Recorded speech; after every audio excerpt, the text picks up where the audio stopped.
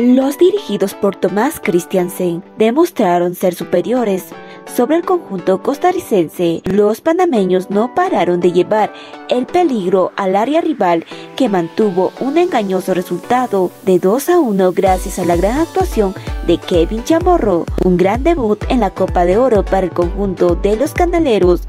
Bueno, crack, escuchemos a la prensa tica tras perder ante Panamá.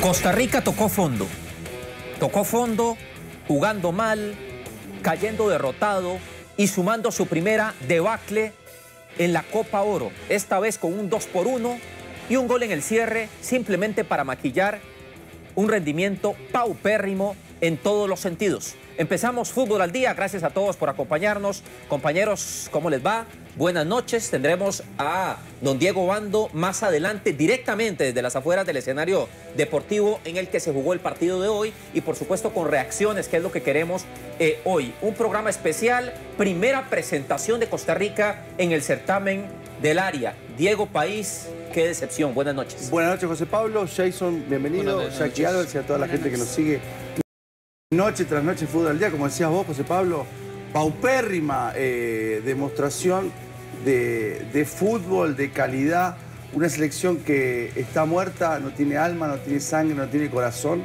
se nota, hay un quiebre con el técnico, no sé. El problema es de sangre entonces, Diego. El problema de todo, el problema de todo, estamos en, en coma, entramos en coma, estamos en una situación, hoy, hoy es irreversible, hoy es irreversible, se nota en el campo de juego que no hay conexión entre los jugadores, están, a ver, no pueden levantar las piernas, no tienen un ritmo adecuado, no tienen un, sentido de juego, eh, se sienten frustrados los jugadores, se nota el técnico eh, en el banco, eh, cero, cero emoción, cero sentimiento de lo que está pasando. Así que me parece que va a ser una noche larga, muchachos. Jackie, buenas noches. Dice y utiliza don Diego País la palabra sangre. ¿Cuál palabra utiliza para describir lo que le falta a este equipo. Jackie, buenas noches. Vamos a ver, buenas noches compañeros, buenas, noches en casa. Eh, fuera Suárez, definitivamente, pero también en esa, en, esa lista de, jugadores que le faltan sangre, como dice Diego, también tienen que irse jugadores de esa selección. Hay jugadores que están quedando debiendo, eh, jugadores de mucho peso, de mucha experiencia, mucho bagaje. Celso, el mismo, este, el mismo Calvo me queda debiendo. Eh, ¿Por qué? Porque son jugadores que también son los que podrían ¿no? Eh, levantar la mano y decir que aunque bajo una situación difícil de un mal planteamiento de entrenador desde hace dos años para acá, pero tampoco vemos eso. Entonces sí creo que hay jugadores que hay que también meterles el bisturí. Don Jason Arce, buenas noches. Dice país, falta de sangre. Dice Jackie, fuera Suárez. ¿Cómo describe usted el momento de la CL hoy?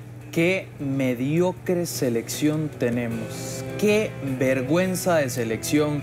Y me sumo a lo que país no tenemos sangre. Qué selección más paupérrima, miedosa, nefasta. Súmele cualquier adjetivo pésimo que tenga que ver con algo negativo con esta selección. Qué selección más mediocre tenemos y es comandada por un técnico igual de mediocre como es Luis Fernando Suárez. Muy buenas noches, compañeros. Bueno, vamos a empezar de inmediato. Vamos con la cancha caliente y recordando que ya casi venimos con el enviado especial de Fútbol al Día, don Diego Bando, desde Estados Unidos, para tener la reacción en directo de lo que pasa allá cerca de los protagonistas. Cancha caliente. Ok, empecemos con lo más básico, compañeros. Sí. ¿Qué fue lo que más le faltó a Costa Rica hoy en lo futbolístico? Jackie, ¿qué le faltó a Costa Rica en lo futbolístico? Bueno, la tenencia pelota, sin duda alguna, a partir de ahí marca, ¿no? Marca el partido, como si usted no tiene la posición de pelota, no puedes hacer nada. Fue un coladero por completo. Este, nos bailaron realmente. Esta selección completamente panameña nos bailó. Este medio campo, Carrasquilla, qué gran jugador definitivamente. Y tiene socios que lo acompañan. Nosotros no tenemos sociedades, solo individualidades y chispazos por ahí, ¿verdad? Que Diego Bando ya prácticamente listo desde las afueras del escenario deportivo. Costa Rica cae ante Panamá. Don Diego Bando, buenas noches, bienvenido a Fútbol al Día. ¿Qué tal? Salud, mi querido José Pablo. Nada más déjeme aquí acomodarme bien con el internet para escucharlo de la mejor manera. Aquí estamos afuera de la zona mixta y la conferencia de prensa de Luis Fernando Suárez. Voy a mostrarles aquí, voy a darle vuelta a la cámara para que puedan ver eh, a los medios de comunicación aquí listos, esperando que salgan los jugadores de, de Costa Rica.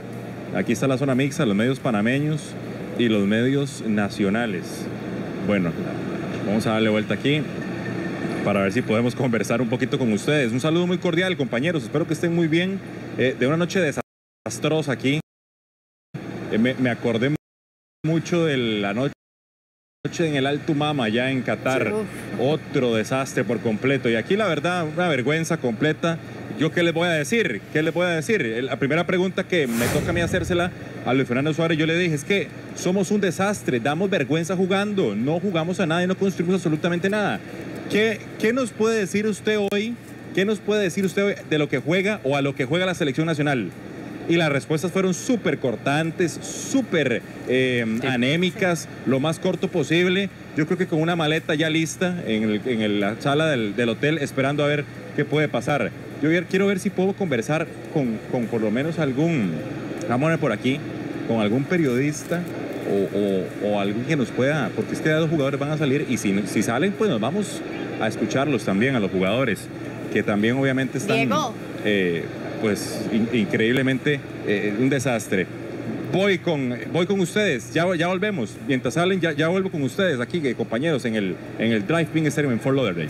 Bueno, extraordinario. Entonces, en área de zona mixta, para poner el contexto a los queridos okay. televidentes, en esa zona básicamente hay un túnel, ahí van a ir saliendo futbolistas sí. y en ocasiones, dependiendo del estado de ánimo del jugador de fútbol, hablan, hablan algunos, no todos. No es obligatorio, ¿no? No es obligatorio. Pasan por ahí. No es obligatorio. Normalmente algunos veteranos asumen la cara, eh, sí, dan sí, la cara, casi siempre Celso, casi siempre Joel, casi siempre Juan Pablo Vargas. Y a los muchachos jóvenes no siempre se les deja esa responsabilidad. Esa es eh, la teoría. Otras, en otras ocasiones solamente el departamento de prensa de la Fede de Fútbol manda algunas entrevistas, las envía sí. y es lo que hay porque ninguno habla. Va a depender un poco de la realidad y el contexto de la serie. Ya vamos a volver con Diego a ver si podemos tener protagonistas. Iba a indicar algo, ya que... Sí, no, que le iba a preguntar a Diego sobre lo que se escuchaba en el estadio, el abucheo de la afición, que fuera Suárez.